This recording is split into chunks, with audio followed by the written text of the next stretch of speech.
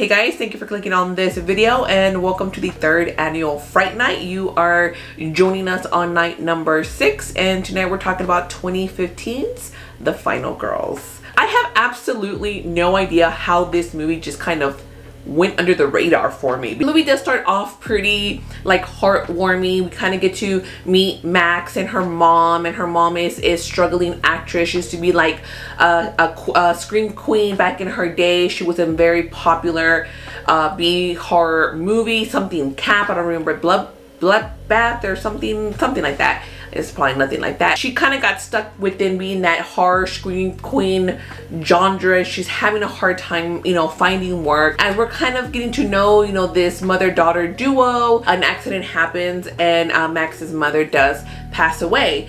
And then we kind of cut three years later. It is the anniversary of her death, uh, but they are showing a screening of, you know, the movie that she was in, that B horror movie. Um, her friends are like, can you come and make an appearance? Kind of Q&A. She really didn't want to go, but ultimately was like, okay, let's go ahead and, and, and, and watch this movie. When they were at the screening, uh, fire did break out, kind of being Final Destination in a way. It was like the way that they, they shot it and everything.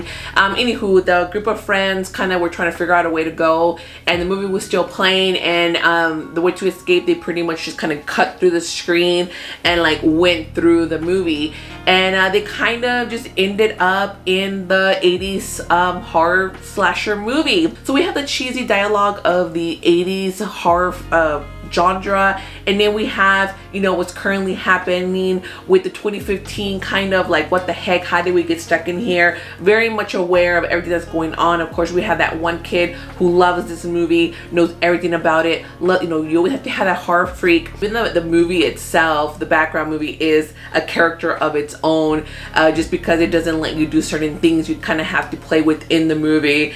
And just like a lot of like camera work that happens. There's like this kind of like looped around shot when something kind of, you know, like, oh my gosh, this can't believe this kind of happened. And, you know, them kind of trying to figure out how they're going to escape, but it's like, no, there's no escape. You kind of have to like run through the movie itself. The way that color and everything was kind of done and the way that they, these two like different characters, again, the ones from the 80s and the ones from current time are kind of like working together, trying to figure out how we're gonna survive this horror movie, you know, and, and again, it's very self-aware of what it is, but it's not as cheesy and as corny as a lot of movies that are done this way. The acting is actually really good. Even though there was uh, hints of romances kind of building up, they never really fully developed because you already know how I am about romances that don't need to be part of a movie just kind of you know taking up space and time within a movie it did hint on it but there was no like real development towards it even though it's not full on gruesome or because it's not r-rated i think it's like pg-13 or whatever.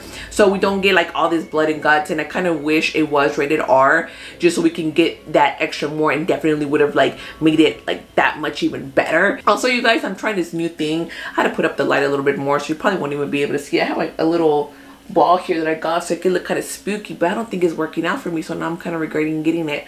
But we're gonna we're gonna hopefully that works out. One last thing you guys uh, that I will mention that the way that um, flashbacks were, were used here uh, it, it's again it's done really really well you guys. It, it really is.